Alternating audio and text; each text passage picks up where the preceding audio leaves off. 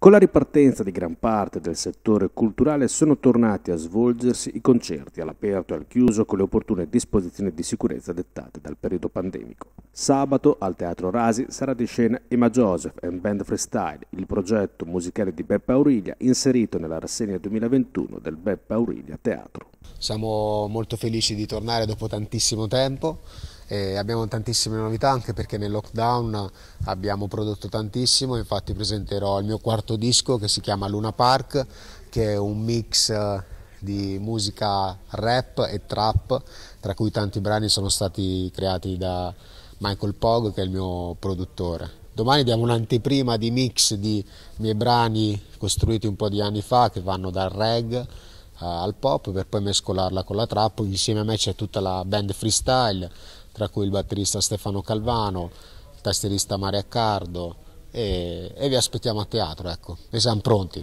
Diciamo, diciamo che è, è molto bello ritornare in teatro dopo tutto quello che abbiamo passato, soprattutto rivedere i compagni di viaggio, anche perché dietro ai musicisti c'è tutta una preparazione anche tecnica, ci sono i tecnici che lavorano e quindi eh, è bello ritrovarsi di nuovo la famiglia per poter iniziare a ricominciare come il circo. Questo è un grande circo e senza la musica, senza il teatro, diciamo, non c'è, non c'è vita, non c'è allegria e quindi non c'è circo.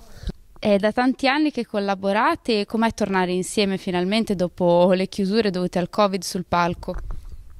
È stata una cosa meravigliosa, era ora, eh, non vedevamo l'ora di suonare insieme e, e, incominciare qui a Rasi sicuramente è la maniera migliore in un bellissimo teatro con tutta la band dal vivo e con il pubblico. E che effetto fa anche per voi musicisti tornare? Una, una grande bella emozione e riavere di nuovo il contatto fra di noi e soprattutto con il nostro pubblico, una cosa meravigliosa.